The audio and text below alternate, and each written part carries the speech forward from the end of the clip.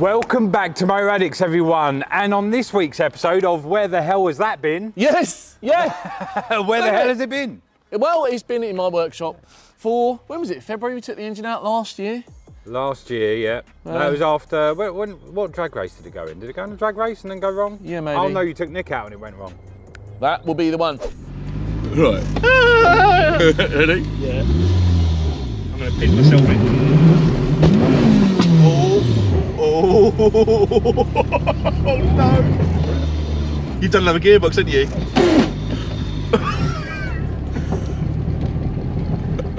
So we took it out, broke stuff, and I was like, well, I need to get a gearbox. If you go back and look in our back catalogue, you'll see a bit of the process of what happened. So the gearbox went wrong. I found a uh, Quaife sequential five speed for it. I was like, yeah, sounds good, gonna go for that. But while the box was out, I found a bottom end for it, which had billet rods and a whole bunch of other cool stuff. You just found loads of stuff. Yeah. All over the period. It's like, I was now going K24. Yeah, and all this, and then that's not a five minute exercise in itself. So go back, have a look a bit about all that sort of stuff. But anyway, it's back together, it runs, and we're going to drive it only up the road because it needs to be mapped by Gordon at Street Racers. Thank you very much. Uh, so many people have helped me with the project, and I'll get into that a little bit later on. But anyway, that's it. It's realistically going to make about 800 horsepower. That's what we're looking at.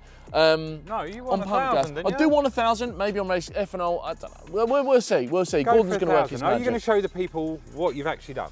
I want it to survive. That's the main thing. More to the point, I want to drive it up the road, see what you think. Yeah, We're not you going gotta mad. show them what you've done. There's loads. What I didn't buy, number one, wiper blades. Didn't buy them. Um, No, anything that's important, you don't buy. no, no, no, because the, the real fun stuff is where is at the back. The horses are in the back, Stu. I know. On. Come on. Look, I even cleaned the engine bay a little bit, only a little bit. You didn't. So, what did we buy? Get, actually, I've got stuff in the workshop as well to show you guys. Uh, this part of the turbocharger here, which you can't see Nick because it's too far away, is the 0.84 turbine housing. That's very hot.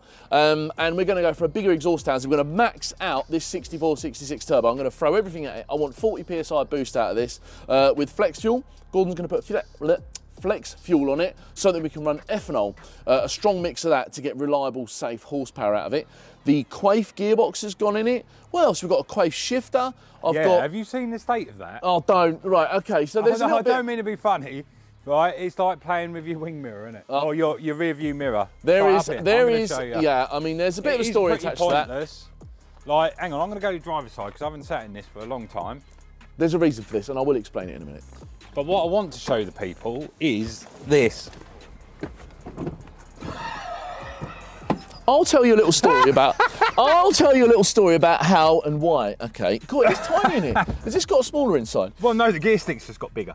Right, it has. And the reason for that is this gear shifter is designed to go in a Honda, a front wheel drive car, which doesn't have a tunnel here designed for the uh, fuel tank to sit in in the MR2. So actually, this shifter would be down on the floor. So it would be about another foot lower than what it is. So this is only for the meantime. This is just so that I can get it up to Gordon and he can map it and use it as is. Uh, it is It's offensive, I isn't it? know, I know. We're going to get around to that. We're going to have to. You know chop- when you get old, down. you get old and you get a walking stick, you're like, oh, It's a bit like it's a bit like that, isn't it? It is a bit like that. But I, I did go in, I did get in going, is it in neutral? No, what No, knob? yeah, don't do that. Got to pull it Talking about forwards and backwards. Talking about knobs. Talk about knobs and, and getting old. Well, yeah, it's my birthday today. 41, thanks very much. So you're going to drive this. Send me a bottle of gin in the post, that's my tipple, thank you very much. Um, so yeah, the shifter is high, yeah, we'll get around that. It's got a, uh, um. There's a, there's a button on top, isn't there? woo! No, there's no buttons, but there's a wire because it's got a strain gauge in the gear knob, which when you pull on it, it cancels the ignition, it cuts the ignition momentarily to deload the gearbox for it to go into its next gear. Thanks to Big Man Ting Performance, they supplied us with that. Uh, Jamie sorted us out there. Um, we've had to, there's, it's not, nothing is straightforward. We've had to make a plate, I had to go and get a plate cut and then get it machined so that we've got something to mount the gear shifter to. Um, there's, there's still other bits that need doing, but all of the, fundamentally it's together and it's, and it's drivable. It, it works. So really, all, all it's got to do is go to Gordon Yep. and then he's going to tune the gearbox, max out the turbo with your new housing. Yes, Or your inlet that. or whatever it and we've got bigger injectors. Dash? When's that getting? The what, sorry? The fuel tech. Yeah, Fuel Tech FT600 is what's going in it, and that has the capability of cutting the ignition. Cutting the ignition. That door shut. That has the capability of cutting the ignition to allow the gear shift to happen. So um, the, the reason it's going to Gordon for that is that I don't have the time and he's got far better skill at wiring than I have uh, in order to, more patience than anything, because he's going to do a nice job of actually wiring it in. So I'll have all my telemetry in front of me uh, and it's fully tunable. So Have you have- told the, Have you told the people about your drive shafts? Yes, we did do that last time, We but it's got DSS 1000 horsepower drive shafts in it. I mean, they were loads of money alone. Just, it's very easy to say, oh, I want a car that's got 800 horsepower. It's, it's, it's not just having a car that's got 800 horsepower, it's all the supporting stuff that goes with that. It's a mega project. Be prepared to spend twice what you expected to spend. That's the bottom line of it. Okay, But, so um, I've got a yeah. question. Oh, here we go. All right, Beyonce. I, I've go. got a question. I've got a question. So, what have you Yes. done on the car? What have I done on the car? What have you done? Fitted the turbo, No, no, no, no. no. Since it's been off the road, fitted the drive shafts. did you put the drive shafts in? Yes. Yeah, did the drive shafts.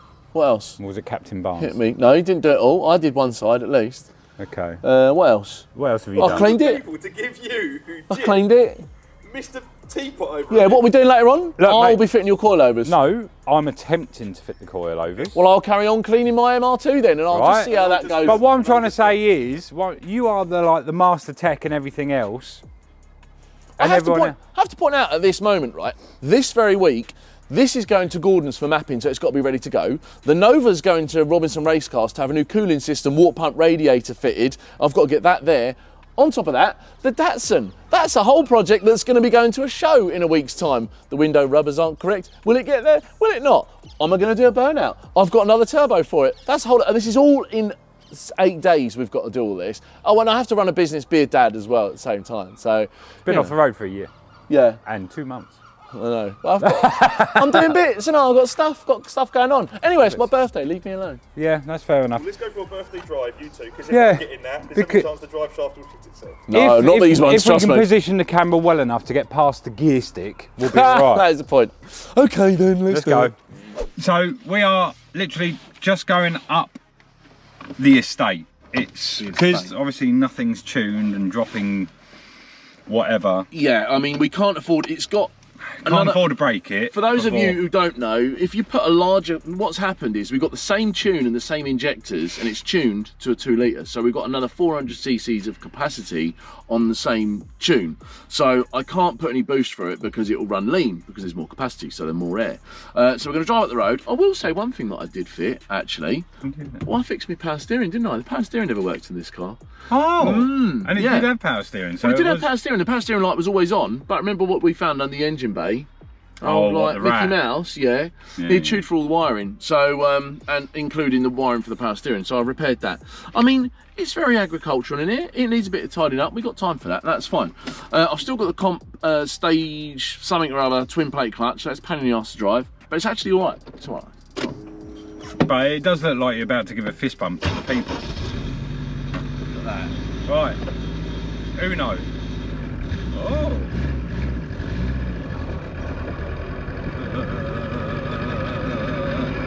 Still loud. That yeah, that, that's not. I'm not sure if that's a road car anymore. You Very. we It's that all road car. It's not road car. Just the gearbox noise in itself. Right, yeah. Listen to this gear change, right?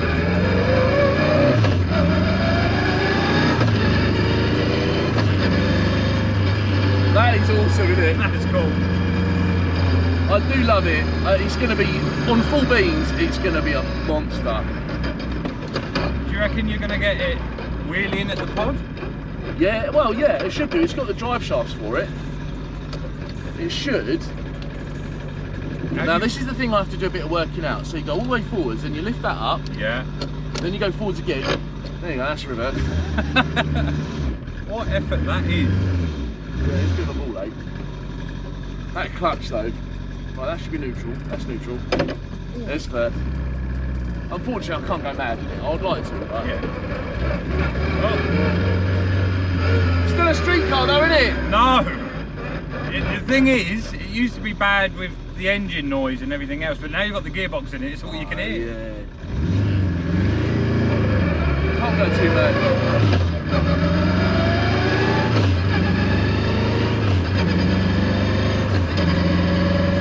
How many gears is it? Like, Five speed.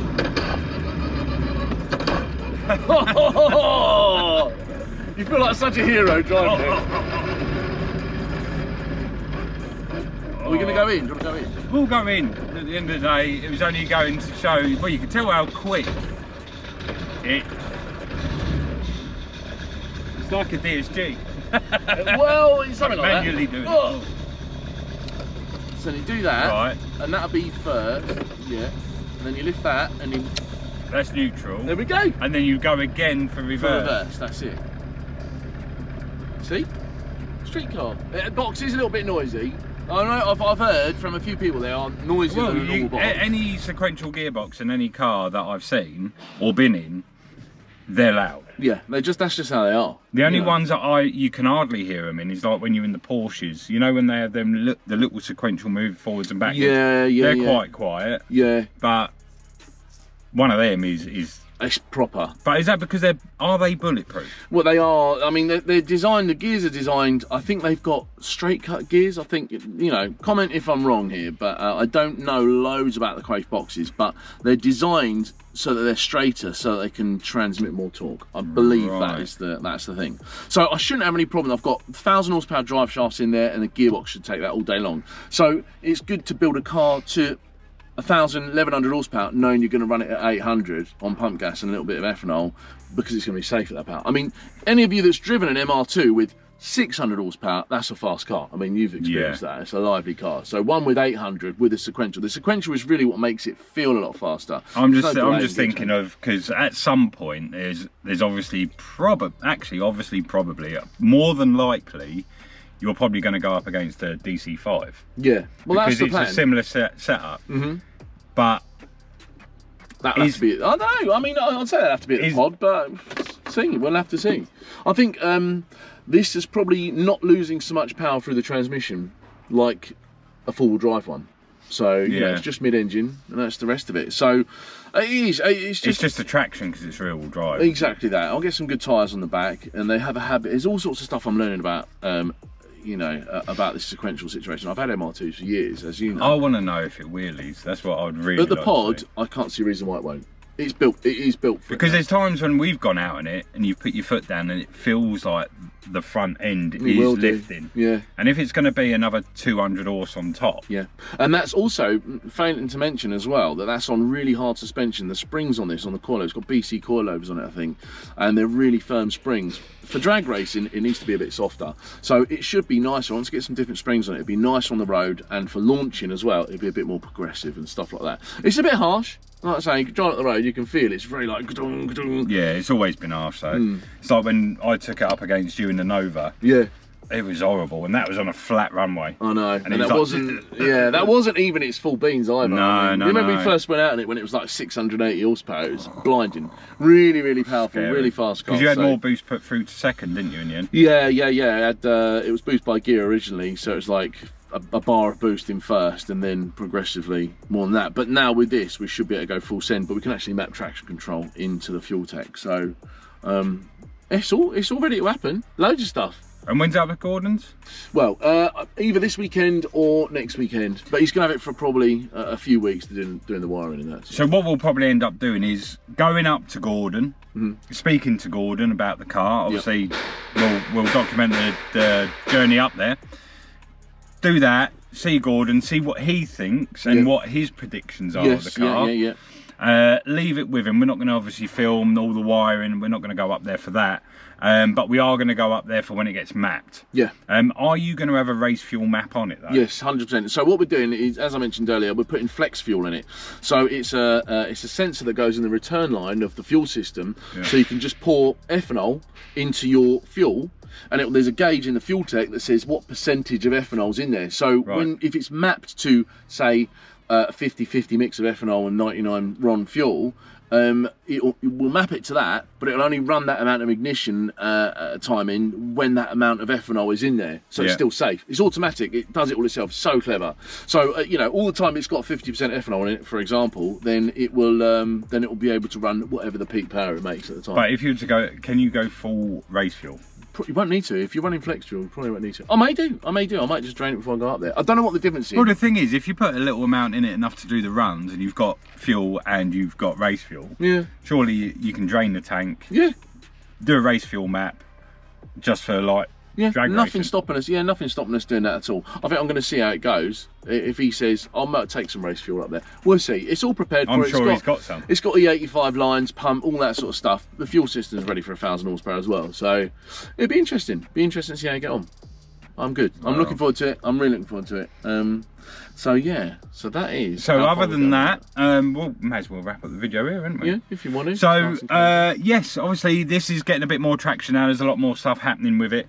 Um, the next time you'll see this is us going up to Gordon and talking to Gordon about the car, Mm. um, and then again, as we said earlier, going up for when it gets mapped, Mm. and then obviously first drive of it, and then we'll see if we can, if it's all set up and there's no issues, we'll probably have a chat with Jamie, Yeah. see if we can get on a track battle with him. Yeah, Uh, yeah, because it'll be it'll be good because there's similar setups. No, yeah, You've got the it's similar sort of K20. K20 or K24, the sequential, sequential. Yeah. Rear wheel drive, four wheel drive is Mm-hmm. going to be different, but uh, other than that, that's really. Might even have a shorter gear stick by then as well. Who yeah, knows? maybe. It'd save you punching the window screen. I know it? it's a little bit, bit aggressive.